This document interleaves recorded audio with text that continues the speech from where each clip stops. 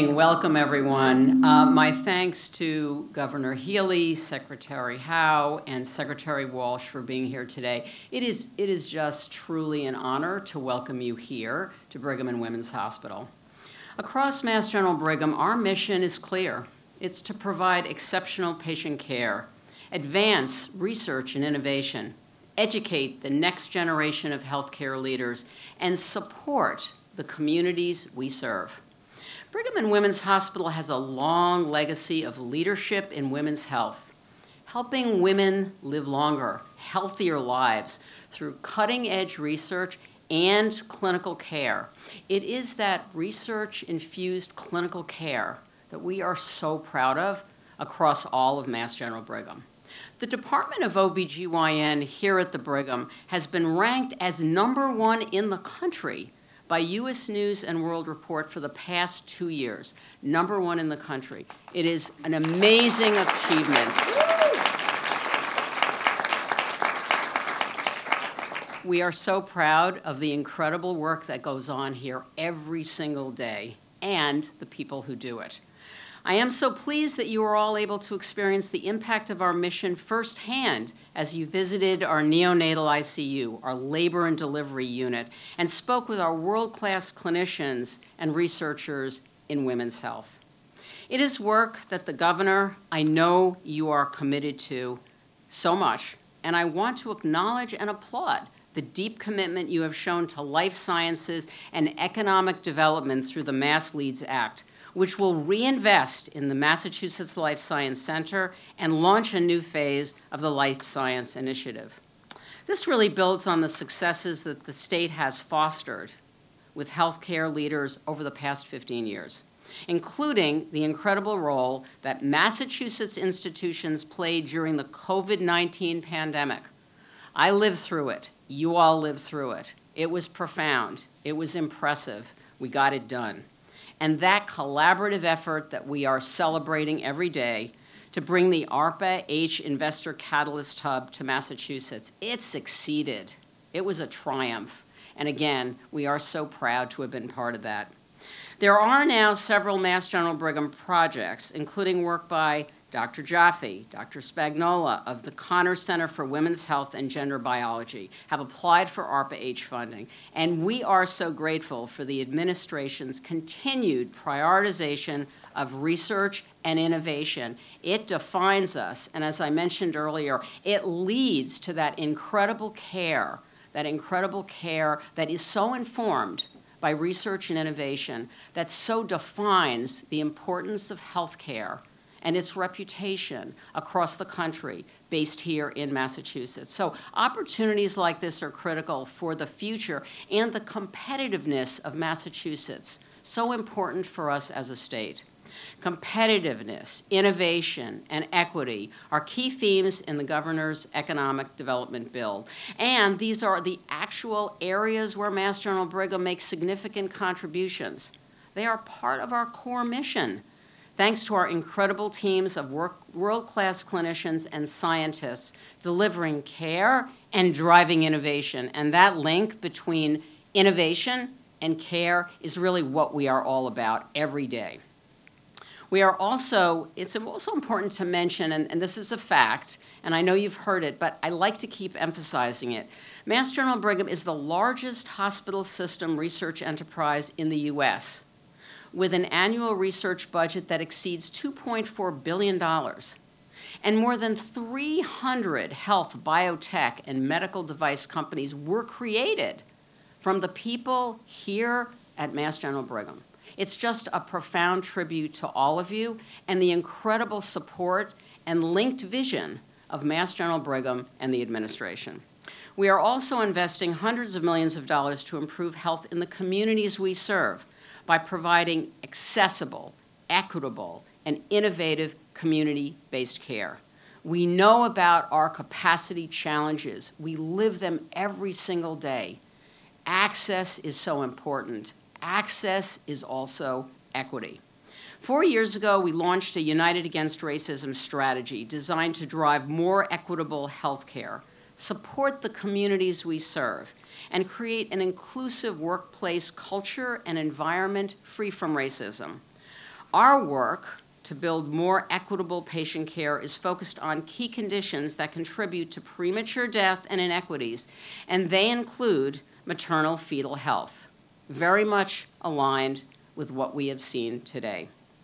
We are determined to reduce disparities and drive more equitable care for mothers. These are data-driven decisions. These are broad programs working with, partnering with the communities we serve and the state and everyone around us. We are all in this together. So I want to thank our Mass General Brigham physicians, nurses, advanced practice providers, researchers, educators, caregivers, all of the staff for the work that goes on, the work that you all do every day, every minute in service to our patients and our missions. So again, welcome. Thank you all for being here today. And I am so pleased to now welcome to the podium Governor Maura Healey. Thank you.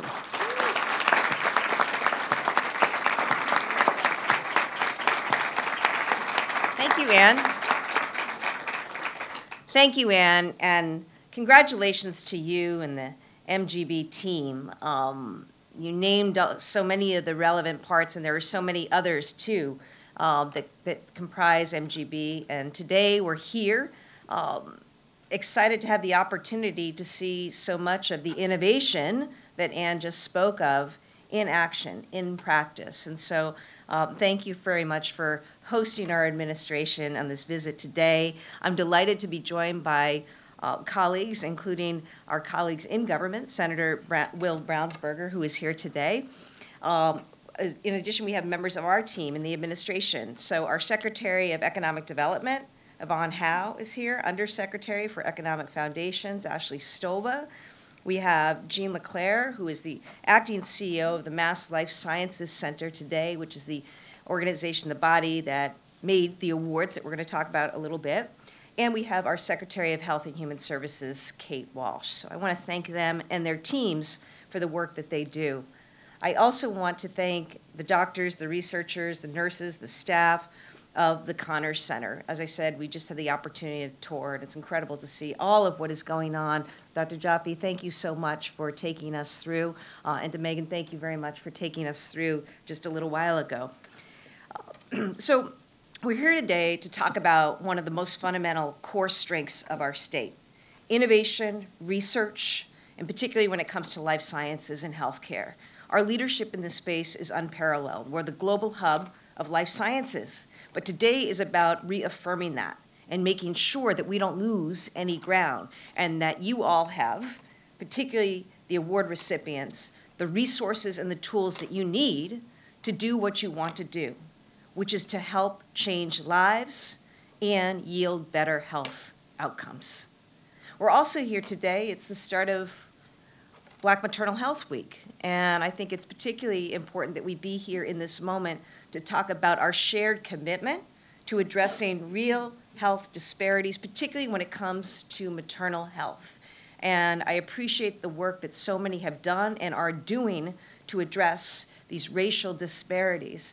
You know, here in our city and in our state, we want to do everything we can to eliminate those disparities. They shouldn't exist. They shouldn't exist in any realm, but particularly in healthcare. And I know that through the work of so many in this room and colleagues beyond in this wonderful ecosystem, that is Massachusetts Life Sciences, we have the power and the wherewithal to get that done working with community. And a special shout out too to our doulas um, who are right and mesh with the community and doing, thank you, the, uh, the critically important work. So today we're talking about a bill uh, that we filed, economic development. It's important. Uh, we'll hear more about that. But basically, you know, this is this is legislation that's going to help us with cutting edge medical research, um, with advancing health equity, which is a shared mission, and by working directly with our researchers and our institutions here in Massachusetts. One of the great synergies we have is also with the private sector. And I heard a lot today about the work that you all do together with the private sector. And that is important. That is critically important um, as, as we think about how to nurture this ecosystem going forward. And it's also why Massachusetts leads. I appreciate the work that was done, and Chris Coburn, thank you very much um, for your leadership here as well. So many people came together last year when the Biden administration, which has done a fantastic job, by the way, on health care, on maternal health, leading into so much of what you care about, including funding for innovation and science. And as governor, I am grateful to the many different grants and awards our administration has received, whether it's for education or energy or infrastructure, or here when it comes to healthcare and science. We had an opportunity to compete last year for ARPA H, and assembling this team of um, so many talented people in the state under the leadership of Secretary Hao and her team, we were able to become that investor catalyst hub, and we're so proud of that. That's because we had a team that included the greatest hospitals and life science companies in the world and the greatest workers and researchers and uh, practitioners. We also um, know that uh, the First Lady was here in, in just a few months ago to announce a $100 million investment in women's health, which is really, really exciting. So the Mass Life Sciences Initiative, critical to our state, we propose further uh, reauthorization of that. We know that what was done in the past has already been used to leverage $6 billion in private investment. We now have 18 of the 20 largest biopharma companies in the world here in Massachusetts. We're going to go chase the other two. Um, but but we know we know how to set ourselves up for success because we've done it before. We need to make a similar investment right now. And uh, I'm very, very excited about that. So today, I'm also pleased to announce that we have an additional $3 million in new grant awards through the Women's Health Project. And we'll start with the First Look Awards, which are administered together with the Connors Center.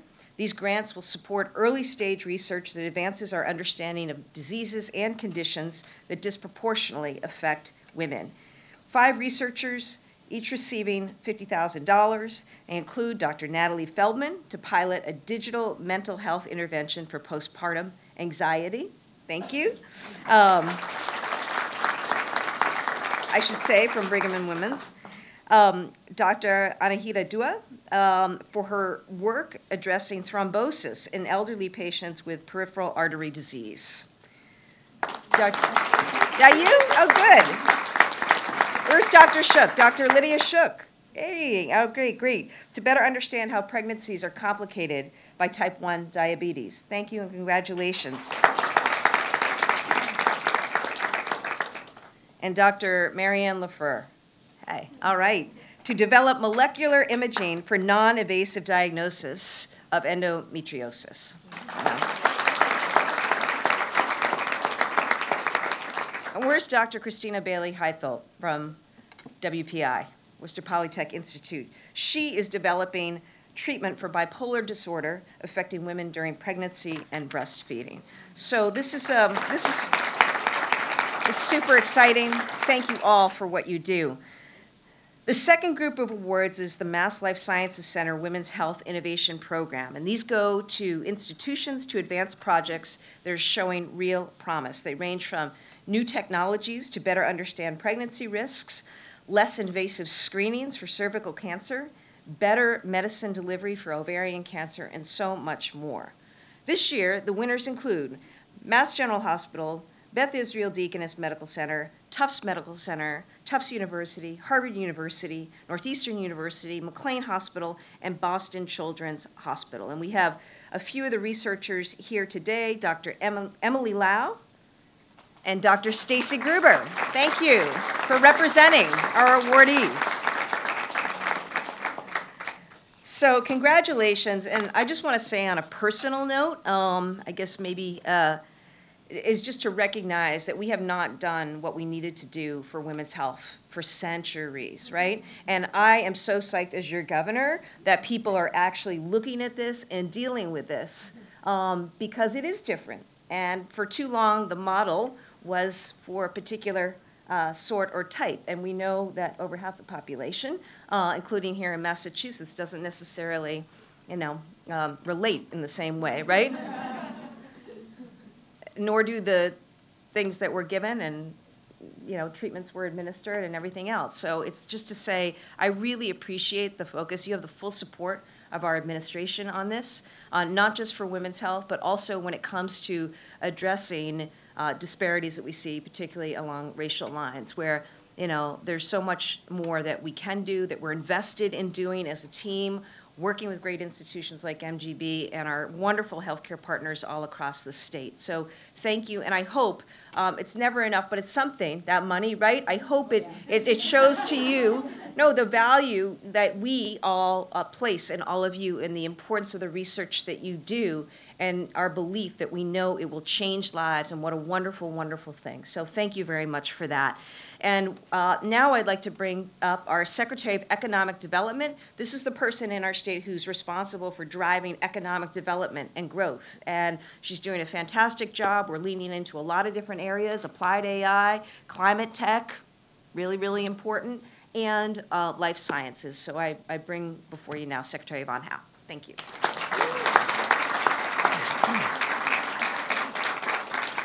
Thank you so much, Governor, uh, for uh, all of that inspiration and for all your support.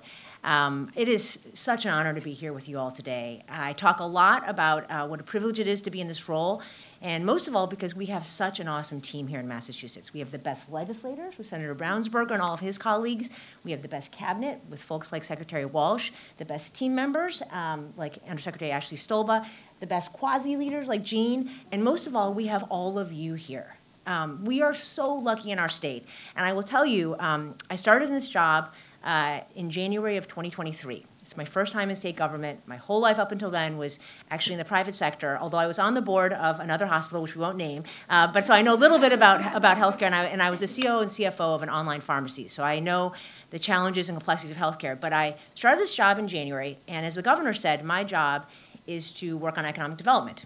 So I'm a data person. So I, I like to look at data. And so I started looking at data. I said, wait a minute, shouldn't we meet with, shouldn't we meet with Mass General Brigham because they're our biggest employer?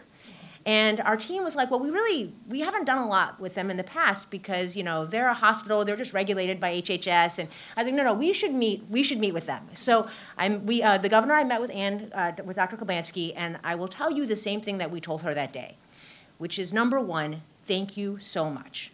I know you probably don't hear that enough because um, you know we kind of take it for granted. You're here. You're probably not going to move. Other companies can pick up and move. You're probably not going to move, but we still are so grateful, and we don't take it for granted. You are a jewel in our state. Any other state would kill to have you there, and so we want to say number one, thank you. And the second thing we said is now, how can we work together? What do you need from us? How can we partner together to help make MGB even more awesome and help make our state even more awesome?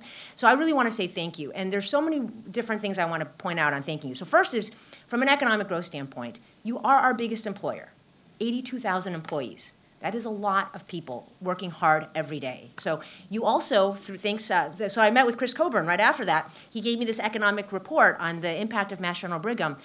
Over the last couple years, you've generated $54 billion in economic impact. It's almost the same as our state budget for the whole year. So, and you also, as, um, as uh, Dr. Klibanski was saying, you are the number one in terms of research, you're the number one in terms of the rankings. We are so lucky to have you as an economic growth driver here in our state. The second thing is, um, you know, I just want to highlight this and maybe embarrass Chris a little bit, but you know, Dr. Klibanski was saying that you were part of the ARPA H award. I mean, everyone is part of a team. That's very kind that you said that. But, but really, Chris and, and General Brigham, you helped captain this team. We would not have won this, um, this very competitive um, hub from President Biden without General Brigham really leaning in with our state and with all the people in our ecosystem. There are so many late nights, so many weekends with Chris, his whole team, Joe Sullivan and Gene from the Life Sciences Center, and from everybody in our ecosystem. And it was competitive, as the governor said. California was very upset. North Carolina was very upset. Many states were very upset, but we won because when we work together, especially with people captaining us like Mass General Brigham, we win. And one of the reasons why it was so important to highlight Mass General Brigham as part of our ARPA H bid is that we sometimes when we talk about life sciences, we think about all the cool drugs, all the big life sciences companies, all the big brands that you've heard of, and th- that is definitely true. We are so proud to have the 18 of the top 20. But where do those come from? We would not have any of those companies here. We would not have our success in life sciences without our hospital systems, especially Mass General Brigham. You are the goose that has laid these golden eggs for us, and we do not take that for granted. So thank you so much for helping to lead our ARPA H bid and also to really um, spawn this incredible leadership we have in life sciences. The other thing I will just say um, to thank you all is that um, I don't take it for granted uh, you know, there's a lot of, you can get lost in the numbers and the GDP and the big federal awards and all that. At the end of the day, this is about taking care of humans, taking care of people and their families. And it's hard work, and it's gotten harder post pandemic. It's really difficult. There's a ton of burnout, there's a ton of issues everyone's facing, and to be able to walk the NICU and see these tiny little babies and how much you're taking care of them here in the Connor Center, named after our friend Jack's uh, mom, is really, really special. And I will just say, on a personal note, my mother in law was a NICU nurse. She, um, she started having some symptoms of some things that weren't that great. So we moved her from Chicago to Boston, and we took her to Mass General Brigham, and she got diagnosed with Alzheimer's um, 10 years ago she, so the, I, I will still remember sitting in the lobby and, and uh, waiting for the doctor to come down and how incredibly kind they were to us and to her. And last month she passed away after 10 years of fighting Alzheimer's.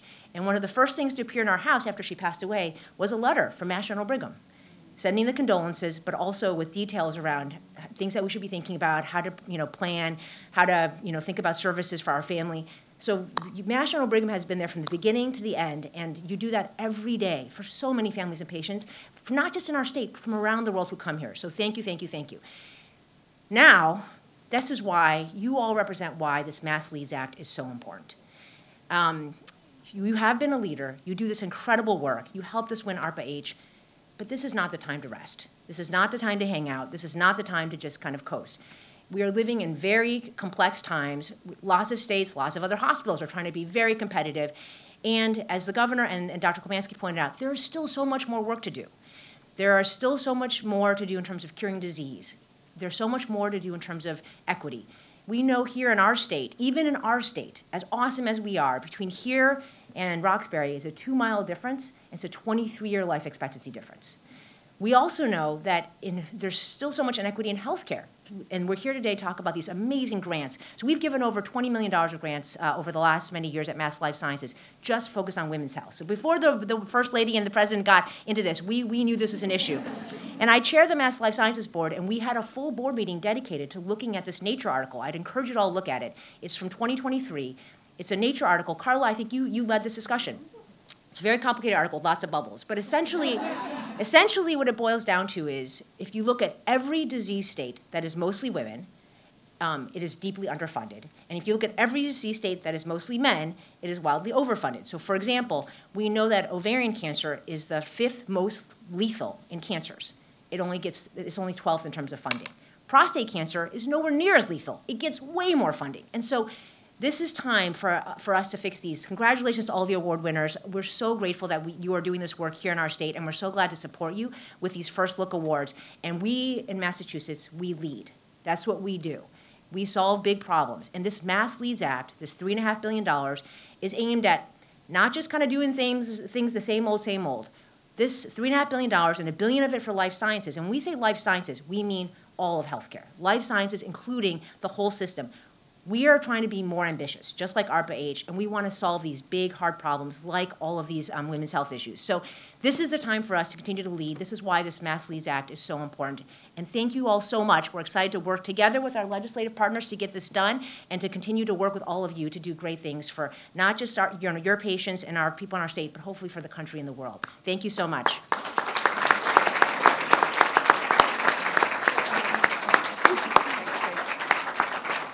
Thank you, Yvonne Secretary Hao. Um, I'm just really grateful to be here, uh, to have a chance to say a few words, and I'm really just delighted to be back at the Brigham, especially uh, to celebrate the Connor Center for Women's Health.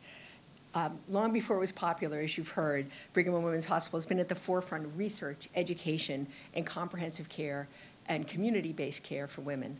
I cannot emphasize enough how important these investments are to the Healey Driscoll administration and to, the, uh, to me as Secretary of Health and Human Services, especially as we think about our equity agenda. Before taking this job, I spent more years than I care to admit working in hospitals, even in, in this one. Um, and I know firsthand that hospitals are much more than a place to receive care. Now that's really important, and it's and it's and it's what brings everybody to work every day.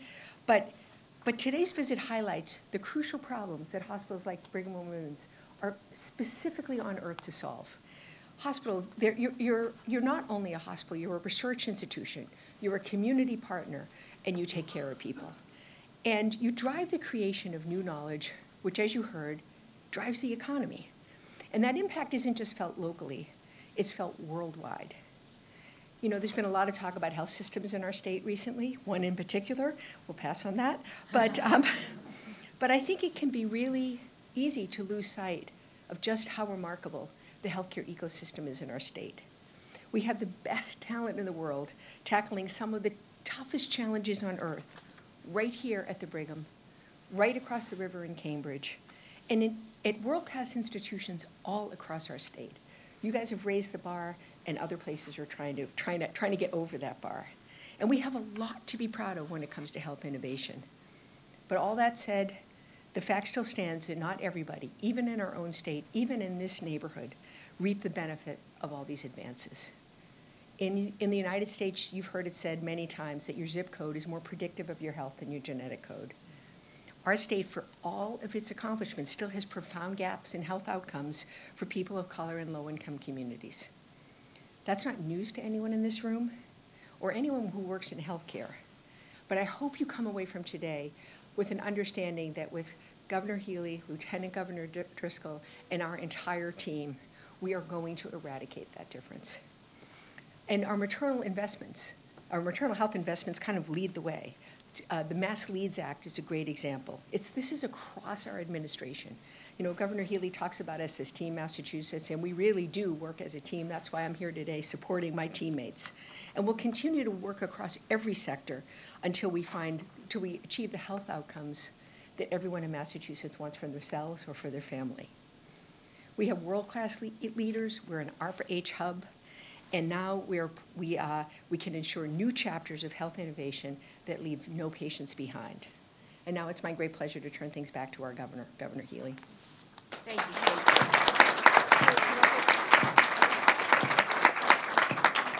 Thank you. I'll just step up for a minute. I'm Will Brownsberger. I happen to have been born many years ago in this, uh, in one of the predecessors to this institution. And I, at this point, happen to be the state senator from this area. But I think these institutions are recognized by all legislators for their incredible importance to the whole region, not just even Massachusetts. Um, We approach this field with humility. There are some things that we do in the public sector that are sort of like our job, like, well, the MBTA uh, and roads and school, public schools. Then there's other things where we know it's not exactly our job, it's your job, you're leading. Um, And in these, in those areas, what's so important, even more important than in our core business, is that we're listening and being guided by what you tell us needs to happen, what you tell us we need to do. And this governor's team, this governor and this governor's team are out here with that orientation, listening, trying to soak up, how can we do it better? How can we support you better? And I just want to underline that um, I and all of us in the legislature approach it with the same spirit, and we're eager to hear from you and be as responsive as we can to your direction on how we can be helpful to your incredibly important mission. Thank you.